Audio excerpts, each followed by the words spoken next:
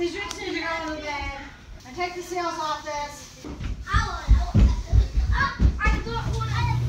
Sam, did you take my sticks? No, Bran took them.